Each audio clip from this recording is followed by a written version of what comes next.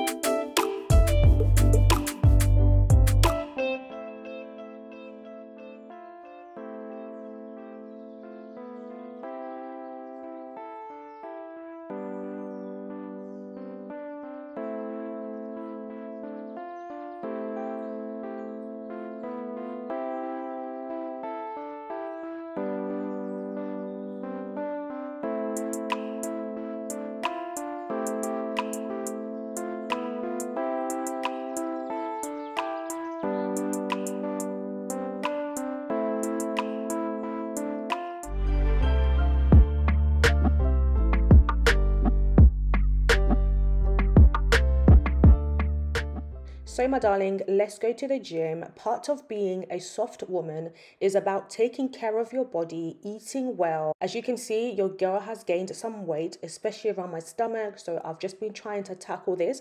I started by walking on the treadmill. I saw a video of a woman, a 78 year old woman on TikTok, and she looked insane. I felt so ashamed of myself because I was like, no, I feel like I'm letting myself go a little bit. So this really motivated me to keep up with my health and my fitness journey. So I did some leg work, which was really, really good. And I felt the pain after, trust me.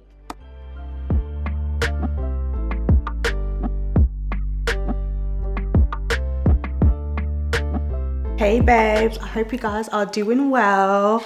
So welcome to the vlog. This is a new week. I went to the gym this morning. Sorry, I look crazy, I know. I'm just about to do my skincare. My skin feels really terrible, like the texture is quite hard at the minute. So I like to do this to just bring up the, to help with the texture. It's really, oh, it's been raining. Because I'm thinking it's so cold, like I'm in the house, yeah, and it's freezing. So I just put my robe on. So yeah, let's go ahead and do this. This step is, is very important if you want um, glass skin, if you want really nice texture if you want your skin to glow. You have to do this at least once a week. Um, so I didn't do this last week, but the week before I did. And you also have to do dermaplaning. I did my dermaplaning about two weeks ago, so I don't need to do it again right now. But when I need to do it, I will um, let you guys know and we'll do it together.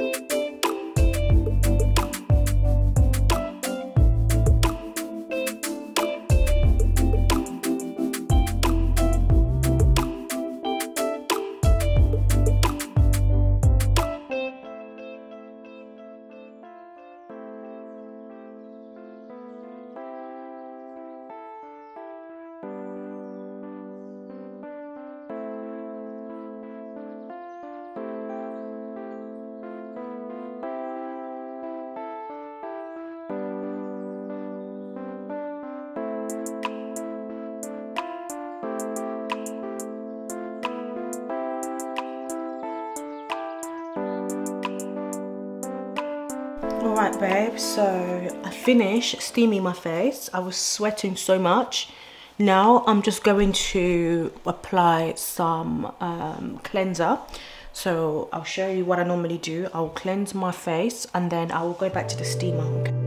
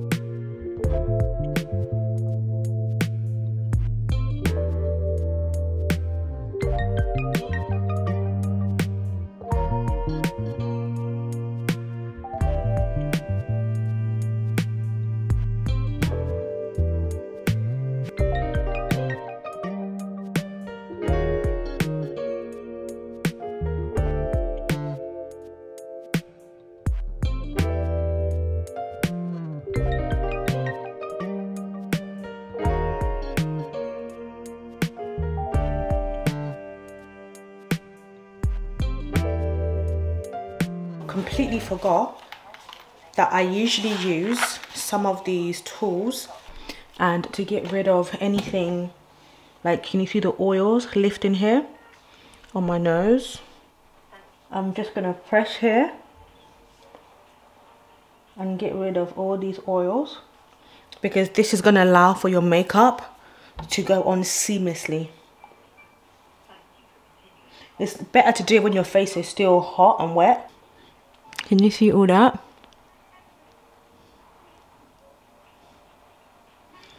I mean, this is some of my lip gloss and stuff up.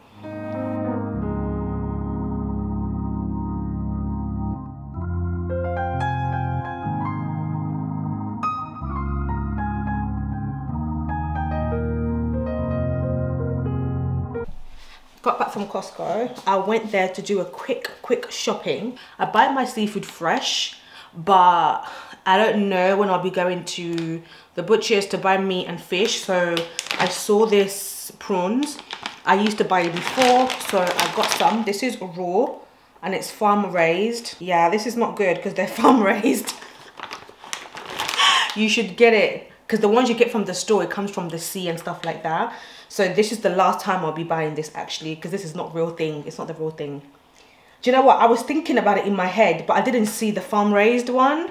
So what it said here, so I just got that. And I got some sea bream as well. And I also got two, um, what do you call it, water. I've got some kitchen towel because they do the best kitchen tissue. It's really nice and thick. And then I got my favorite um, Zoflora. This is in the linen fresh. Oh, I didn't realize, but it's fine it still smells nice so because I like to you know use this when I'm cleaning. When I'm mopping the floor I sometimes use it to clean my bathroom. I just love that it adds a really nice smell.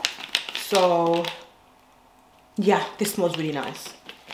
This smells really nice and it's like a floral linen. So it's not like a fresh it's fresh but it's more floral so this is going to go in here and then I, I was supposed to throw this out because this is from my previous delivery. I'm just gonna put this in the freezer and then I'm gonna sort this out and put it in the freezer. I'm probably gonna make it this weekend. This is just gonna make it easier. I'm not sure if this is big enough actually to cover the whole fish. I might have to double it yeah yeah, I think I'm going to have to double it. I'm hoping it's going to work. Let me just two more for the other one. But yeah, I hope you guys are having a good week. Despite the weather, it's so, so cold, guys. I'm so cold. I feel cold all the time. And I feel like I'm coming down with a cold. Even, like, my heater is always on uh, well not always on because it's expensive to always have the heaters on I only put it on when it's necessary but lately I've been having the heater on like all day and you know I'm not trying to pay 500 pounds for my heater in spring. make it make sense. So I'm just trying to keep warm, but like generally, I don't like to wear clothes at home. Are you like that? I really don't like to be wearing like even loungewear I don't wear at home. I usually wear like my if I'm gonna stay home I'll, I'll, I'll have my pajamas on. Like when I say pajamas like silk pajamas on because I don't sleep with pajamas on you know? I'm not I'm, I'm a type of person I don't I can't sleep with clothes on. You know some people can wear trousers like a pajama trousers those thick ones with like a thick jumper and go to bed. I will not sleep I like to be comfortable in my bed. So I just probably wear like a, a top or my pajama top. That's what I mean. But not even, not, not the long sleeves. It has to be like the, the spaghetti straps one. I feel more comfortable wearing that to bed. So that's what I usually wear to sleep. So when I'm at home, I can wear my silk robes or I'll just wear like my silk pajama trousers from Lily Silk. You guys know that I absolutely love Lily Silk. And um, I, I, get loads of questions actually. A lot of the times like where are my pajamas from? the majority of my pajamas are from Lily Silk.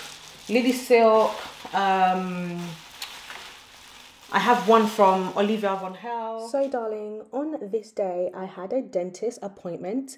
Can you believe it's been a good six to eight months since I saw my dentist? And the issue here today was that I have a hole in my tooth right where she's picking right there. And there's nothing they can do about it. They cannot feel it because it's close to another tooth. But it's very uncomfortable and it's preventing me from or anything of hard texture. And another issue was that I grind my teeth when I sleep. So they had to give me this night guard to so that it can protect my teeth when I sleep. This way I won't be able to grind my teeth at night. So what they have to do is they have to model one according to the shape of your teeth and my mouth. And coming up as an example of what a night guard looks like, she also suggested that I buy this tiny toothbrush to help me get into the corners of my teeth when I'm brushing.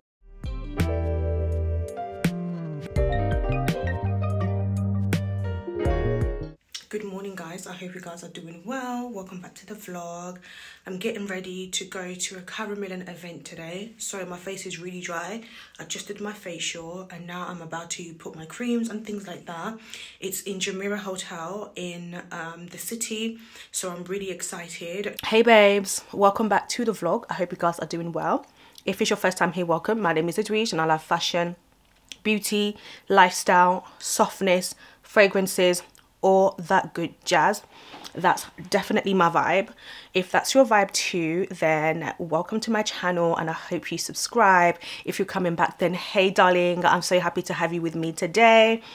In today's vlog i'm heading out to an event with Karen Millen is in a really nice location in um, Carlton Jumeirah in the city so I'm really looking forward to going there and seeing their new collection. Um, I, I, think we get a chance to create our own fragrance today, which is really exciting. And I'm heading there with my babes Rachel.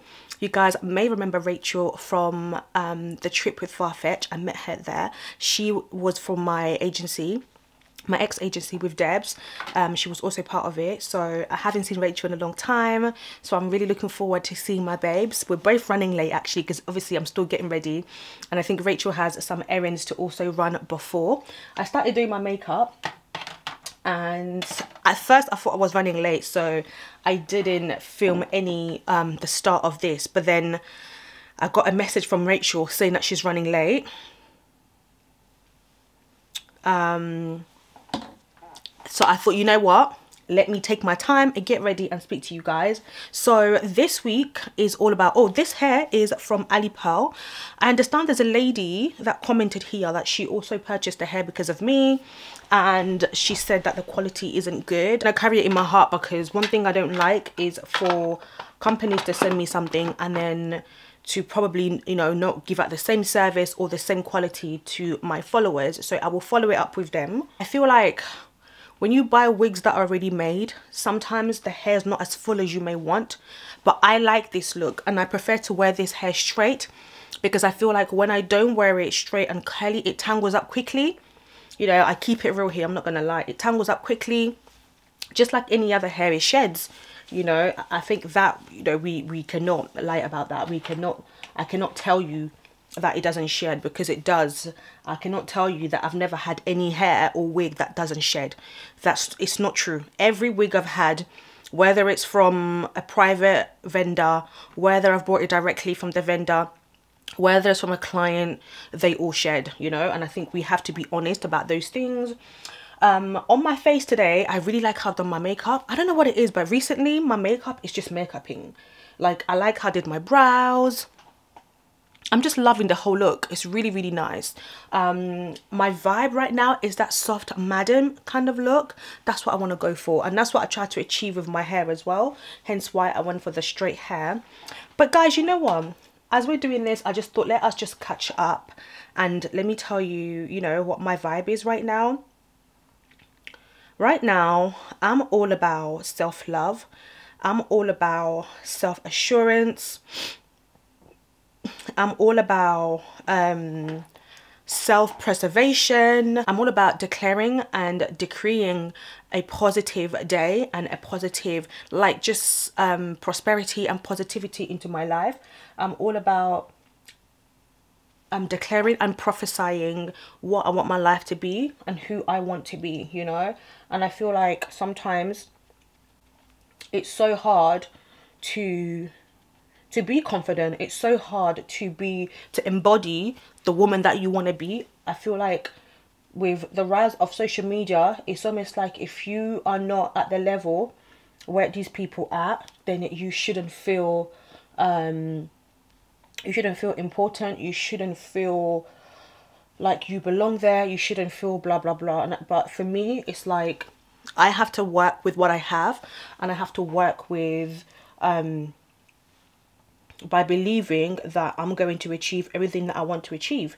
You know, like in the Bible it says that, God created the world with with his words. You know, there's life and death in the power of your tongue. So I guess what I'm trying to say is, you know, I'm learning to be super careful about how I speak about myself.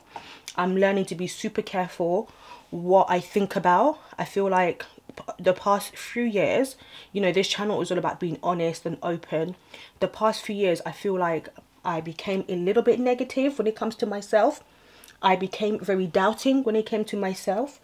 I I wasn't as positive about myself as I as I've always been a very confident person.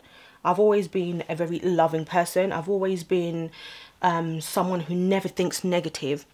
Do you know what I mean? Um, but I feel like over the years, I've consumed, um, I don't know if I've consumed a lot of negative content because I've even like sat here and I've been trying to think about what, what has made me, not that I've turned into a negative person, but just what has made me become quite doubtful. Do you know what I mean? What has made me become quite doubtful of myself, I really love this Pat McGrath powder and I've been mixing it with my Huda Beauty powder. So I just take some from there, the Huda Beauty, and I just mix it. And I get the lightness again because I just like that. I like the colour that it gives me. Yeah, not that I've become a negative person, but I just feel like I'm not as positive as I used to be. I doubt things a lot before it happens. I doubt opportunities a lot before they happen and that's not who I am. That's not who I am at all. I feel like I've consumed other people's negative energy, negative words. Um, so what I'm doing at the moment is just saying affirmations to myself every morning because I am that girl. Do you know what I mean? And I don't want to be, I don't want to let my mind tell me that I'm not. I don't want to let because like I said the power of life and death is in the tongue. Whatever you say about yourself is what turns into reality. Whatever you think about yourself is what you what, what will become your reality. So i guess i'm just trying to say just be careful how you speak to yourself. Be careful how you address yourself. Be careful how you let others speak to you like this is really really key because i like I think sometimes we all kind of let people get away with speaking to us anyhow. And that's something that I don't want to do anymore. I I think I've always been that type of person anyway. If somebody spoke to me out of line, I'd make it known. Um, and I think the beauty of aging is being and being a woman is being able to stand your ground, is being able to to say no. I think we need to have boundaries is really important. Having boundaries as a woman is really important. And I think even when it comes to men and relationships, it's really, really important to have boundaries. It's really really important to say you know what? Like this is my standard. This is what I believe in and that's it. And I feel like even when you go out on dates and stuff like that it's important to lay your standards. Not like th th throw it up on them but you need to be able to exercise your boundaries I know that when I go on dates especially if it's a first date and you know, no matter how great of a time we're having, I don't stay out past 11 o'clock. Usually I want to be in my house by 11 o'clock. But if it happens that I'm having such a great time and I kind of get, I kind of lose track of time a little bit, I would, and you know what made a difference last time? I used my Queen Latifah, I still have this, um, ebony bronzer. I've had this for years. Like I've hit the pan but I use it. I have my days where I want to use it. Um if you remember this let me know. This is a really good bronzer and this is what I used last time and I think it made such a huge difference. Um what was I saying yeah ladies it's important to have where are these brushes it's important to have boundaries and it's important to exercise your boundaries um even if it means exercising it on your friends first to see like how you vibe, how it feels, and it, it gives you your power back. Because sometimes when you stay out on dates for too long and you're drinking or whatever, you end up saying things that you're not meant to say. Excuse me, I've got this disgusting cough that just won't leave me alone. You end up saying things that you don't want to say. You end up overstaying. Um, and like, I know you're probably saying, yeah, but I'm a big girl. I can stay out if I want to each to their own. Like, I completely understand, babe. Do you know what I mean? This is just what I do for me and it works fine for me. because I don't think any man wants to be with a woman that, that doesn't have boundaries. And if any man doesn't respect your boundaries, then they're not for you. And that's one thing that I've noticed because I think sometimes us women, we tend to make excuses for men. But for me personally, if a man doesn't respect my boundaries, then you know this is not going to happen if it's past 11 o'clock he wants me to stay out maybe on a third day i will stay out you know i have a sense of trust for you you know whatever but i think like early stages try to have boundaries in place um my god i don't know what is happening i think when it comes to like where to go restaurants and stuff I don't think you have to be like, I want to go to only this restaurant. I think sometimes it's, it's fine to go on like casual dates, even as a first date. I don't have an issue with that. Um, but obviously, if you, if it's spontaneous, I don't have an issue with it. Um, what was I saying, baby? Yeah, just, you know, have your boundaries, boundaries for your colleagues. Have boundaries. I think as a woman, it's important to, to have boundaries you need to have boundaries with your friends, boundaries with family members, boundaries with co-workers, especially that. Because I remember when I used to work in the office, like everybody knew everything about everybody, you know? And like everyone wants to know your business, who you live with, what you do when you're not working, um, who your man is, who your woman is. And sometimes you don't have to share those information. You don't have to. Your co-workers are not your friends. They don't need to know any everything. Because I know when I used to work in the office, some of the things that I shared was used against me. About my personal life, about the activities that I do at work on the computer. You know, because when you work in, in admin sometimes it's there's nothing to do. You've done everything for the day. You, you know, when you get a quiet moment, you can look online and obviously I've always been in con- I've always been a content creator so I've always I used to have a website which I created at work do you know what I mean because I had a quiet moment and so I did that but it didn't stop me from working. It didn't stop me from it didn't stop me from organizing like it didn't organizing work organizing events you know whatever it is that I had to do. Liaising with suppliers like it didn't stop me from doing that at all. So I know one time my colleagues snitched on me even though they were. Honestly i have so many work stories it's crazy but my throat feels so funny. So i think i'm going to stop talking here. And drink some water and continue with my makeup. When i'm finished doing my makeup i'll come back okay